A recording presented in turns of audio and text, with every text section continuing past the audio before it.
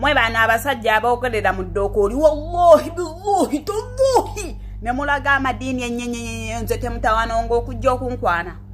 Saagala muntu wa ddiini nnyo saagala kuntijjirako bano obalaba e bagenda n'emekka ne bakwata ku kaaba naye bazze eno ku kyeyo olwa munnaabwe ensobi simanye uganda olwa munnaabwe ensobi gye yakola ffe gye tutamanyi. Bubbo tebagenda mumusonyiwa nga nabo bagenda emakka nga basaba kubasonyiwa bantu mmwe mariyamu ne tawuba muli basiraamu mudde musiraamu. Kebuto mutole shahada mwogere mukole ebintu omusiraamu byateekeddwa okukola. Tekitegeeza nti okwebikirira bwe busiraamu. Naffe tuli wano tetulaga ddiini zaffe.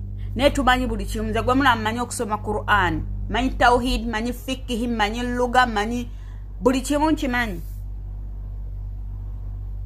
Nemmwe nemuda wallahi ze wallahi wallahi wallahi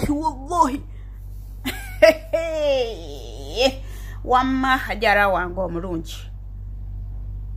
Be strong woba weetonda allahu naakulaba wakula paatiyo abo beesonyiwe.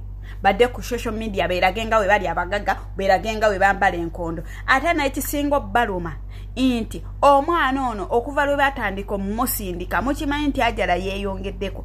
Bw'atyo si bwe yali.